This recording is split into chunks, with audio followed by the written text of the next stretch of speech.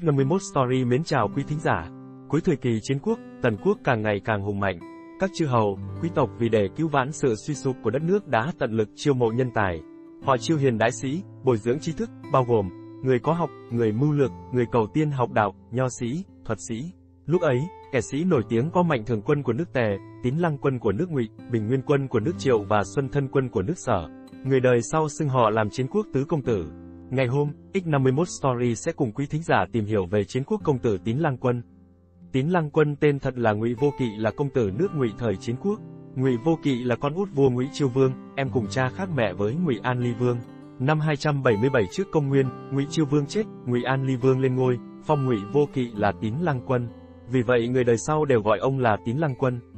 Vào lúc nhà Ngụy bị suy sụp, Tín Lăng Quân học theo mạnh thường quân và Bình Nguyên Quân coi trọng người hiền, thu thập thực khách, bồi dưỡng kẻ sĩ lên đến mấy ngàn người, thành một thế lực mạnh. Ông chiêu hiền đại sĩ, khi người khác gặp khó khăn không có người giúp đỡ, Tín Lăng Quân sẽ thu nạp họ. Nhưng Tín Lăng Quân nhiều lần bị Ngụy An Ly Vương hiểm nghi nên không được ban cho trọng trách quan trọng. Bàn về Tín Lăng Quân Ngụy Vô Kỵ, không thể không nhắc tới giai thoại Tín Lăng Quân trộm binh phủ của vua Ngụy cứu Triệu phá tan quân Tần. Năm 260 trước công nguyên, hai nước Tần Triệu có trận quyết chiến ở Trường Bình. Triều Vương dùng chiêu quát, người chỉ biết bàn việc quân trên giấy, kết quả 40 vạn sĩ tốt bị Bạch Khởi hầu như giết sạch rồi chôn thành đống. Năm 259 trước công nguyên, Tần Vương lại tấn công nước Triệu, vây hãm đô thành Hàm Đan của nước Triệu. Thế là Bình Nguyên quân Triệu thắng đến nước Sở cầu cứu. Dưới sự uy hiếp của Mao Toại, Sở Vương đáp ứng cầu cứu Triệu, nhưng sau khi xuất binh, lại đóng quân ở Vũ Quan, còn quân tiếp viện của nước Ngụy đồn trú ở Nghiệp Thành, rốt cuộc các cánh quân cứu viện không đến được nước Triệu. Quân đội nước Triệu đã sức cùng lực kiệt, không thể thủ nữa. Vậy thì nước Triệu có tránh được kiếp nạn này không? Dưới tình huống nguy nan của nước Triệu như thế, Bình Nguyên quân Triệu Thắng đã viết một phong thư cho Tín Lăng quân Ngụy Vô Kỵ. Ngụy Vô Kỵ là anh em cùng cha khác mẹ với Ngụy Vương. Bình Nguyên quân lấy chị gái của Tín Lăng quân. Trong thư viết thế này, khi đó ta sở dĩ quyết định ký kết quan hệ hôn ước với ông, là bởi vì công tử có nghĩa khí cao độ, khi chúng tôi gặp nguy, công tử có thể cứu viện chúng tôi. Hiện tại, nước Triệu sắp tiêu vong, nhưng công tử lại nhìn nhưng không quản. Ông không thương tiếc nước Triệu, nhưng lẽ nào ông không thương tiếc chị gái của mình sao? Tín Lăng Quân sau khi nhận thư, ông tìm cách thuyết phục Ngụy Vương xuất binh cứu Triệu. Khi đó quân đội nước Ngụy đóng tại Nghiệp Thành, tiến thêm chút nữa là đến lãnh thổ nước Triệu. Nhưng Ngụy Vương không nghe. Tín Lăng Quân bèn để các môn khách nghĩ biện pháp thuyết phục Ngụy Vương, nhưng Ngụy Vương kiên quyết không đáp ứng.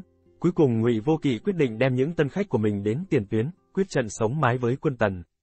Khi đó ông mang theo trên 100 cỗ xe. Lúc ra khỏi cổng phía đông nước Ngụy, người gác cổng khi đó là Hầu Sinh, Tín Lăng Quân nói với Hầu Sinh, ta hiện tại muốn đến tiền tuyến, sẽ liều mình với quân Tần. Hầu Sinh nói, công tử nếu ép tôi, lão già cũng không thể phục tùng. Ý tứ là nói, ngài muốn liều chết đi đến tiền tuyến thì ngài cứ đi, tôi đã già rồi, không thể đi cùng ngài. Sau khi cáo biệt Hầu Sinh, Tín Lăng Quân lên đường.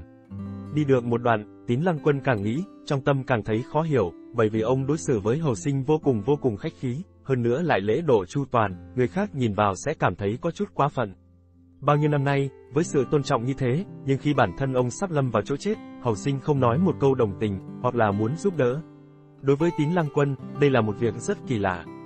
Tín lăng quân nghĩ, không lẽ ta đối xử với hầu sinh không đủ lễ mạo chu toàn chăng? Thế là ông bảo thủ hạ dừng lại, sau đó ông một mình đi trở lại để gặp hầu sinh. Hầu Sinh khi đó ở cổng phía đông đô thành Đại Lương của nước Ngụy. Ở cổng phía đông, Hầu Sinh đang chờ Tín Lăng Quân quay lại. Ông thấy công tử quay lại bèn cười nói, tôi biết ngài sẽ quay lại mà. Vì sao vậy? Ông nói rằng, bởi vì người như ngài đây thích kết giao với nhân sĩ, cái danh này đã uy chấn thiên hạ, hơn nữa ngài đối xử với lão già tốt như thế, mọi người đều đã biết. Hiện tại ngài dẫn môn khách đi liều mạng với nước Tần, thì giống như một miếng thịt ném vào chuồng hổ đói, căn bản không thể thu hồi lại. Cách làm này của ngài vô cùng mạo hiểm, hơn nữa không có gì hiệu quả. Ngài vì sao không nghĩ một chút, liệu có kế sách hiệu quả kỳ diệu hơn không? Tín Lăng Quân nghe xong liền biết Hầu Sinh chắc chắn có biện pháp. Ông hỏi Hầu Sinh, ông có thể chỉ giáo cho tôi không? Hầu Sinh nói với Tín Lăng Quân, nếu ngài muốn điều động quân đội nước Ngụy, ngài ắt phải có binh phù.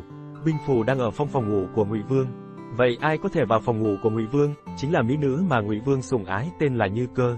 Như Cơ có thể lấy được binh phù, bởi vì công tử từng có ân với Như Cơ, khi đó phụ thân của Như Cơ bị người khác giết, Như Cơ nghĩ kế muốn thay cha mình báo thù, cô đi khắp nơi cầu cứu người, nhưng không có ai thật sự giúp cô ấy báo thù. Cuối cùng người giúp cô ấy báo được thù chính là Tín Lăng Quân ngài đây. Nếu công tử có thể đi cầu cứu Như Cơ, cô ấy nhất định sẽ đáp ứng, sẽ lấy binh phù giao cho ngài.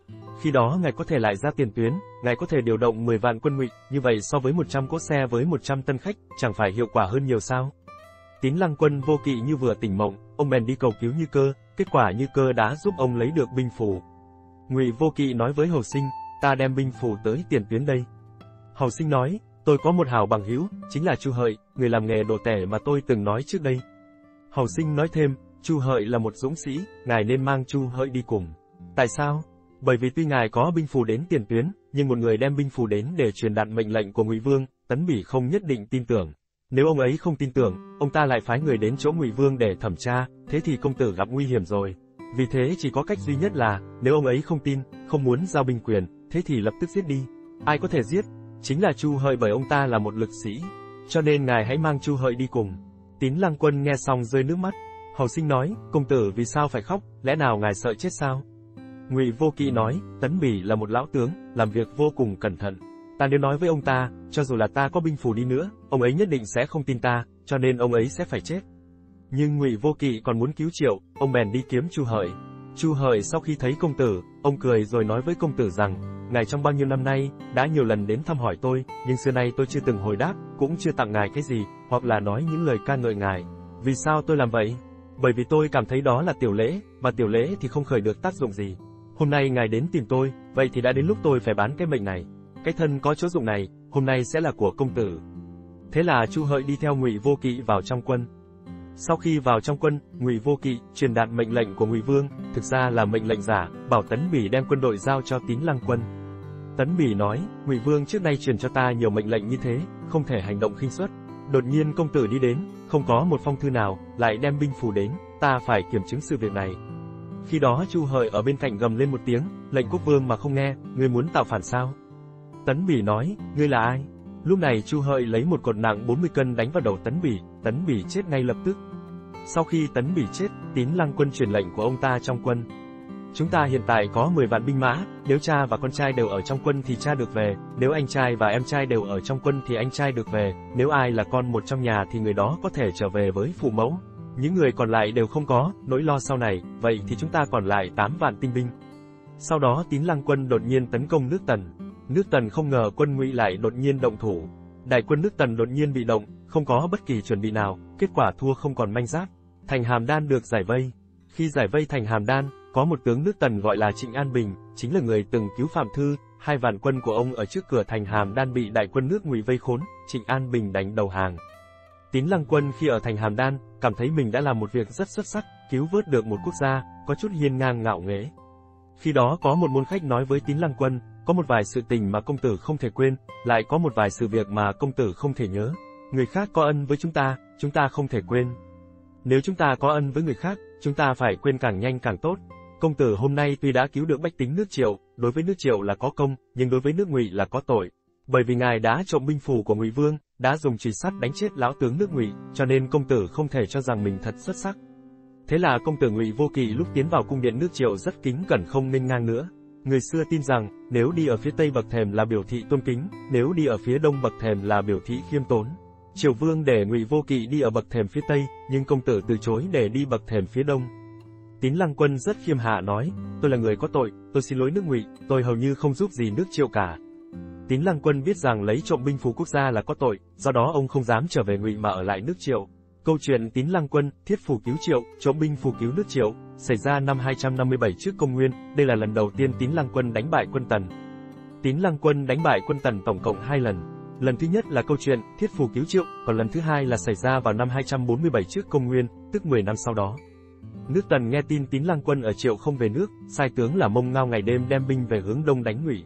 Vua Ngụy lo lắng, sai sứ đến mời Tín Lăng Quân về. Ban đầu Tín Lăng Quân sợ vua Ngụy giận nên không muốn về. Mao Công và Tiết Công đến gặp ông khuyên rằng, sở dĩ công tử được trọng ở Triệu, nổi danh khắp chư hầu, là vì có nước Ngụy. Nay Tần đánh Ngụy, Ngụy nguy cấp mà công tử không lo đến. Nếu nước Tần phá thành Đại Lương, san phẳng tôn miếu của tiên vương thì công tử còn mặt mũi nào mà đứng trong thiên hạ. Tín Lăng Quân hiểu ra, lập tức lên đường về nước. Vua Ngụy thấy công tử, hai người cùng khóc. Ngụy Vương trao cho ông ấn thượng tướng quân. Năm 247 trước công nguyên, ông sai sứ báo khắp các chư hầu, chư hầu nghe ông làm tướng, đều sai tướng đem quân cứu Ngụy. Tín Lăng Quân cầm quân cả năm nước đánh tan quân Tần ở Hà Ngoại. Tướng Tần là Mông Ngao bỏ chạy. Ngụy Vô Kỵ thừa thắng đuổi quân Tần đến Ải Hàm Cốc, chẹn đường quân Tần, quân Tần không dám ra. Kể từ trận đó uy thế của ông nổi khắp các nước chư hầu.